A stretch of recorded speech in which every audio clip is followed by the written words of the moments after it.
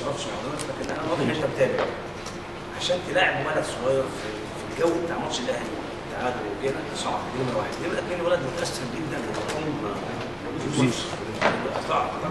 قوي حتى هو بيجي التمرين بيجي زعلان.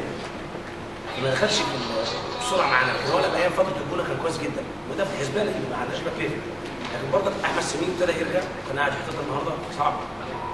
يعني تلاقي اثنين back left في حتة واحدة. كذا حد كل كله هيلعب. أنا حاسس ان كله هيلعب. بس المهم كله يأدي إن شاء الله ربنا يوفقهم كلهم اللي هم لعيبه مجتهدات عايزين يعملوا حاجة زي الزمالك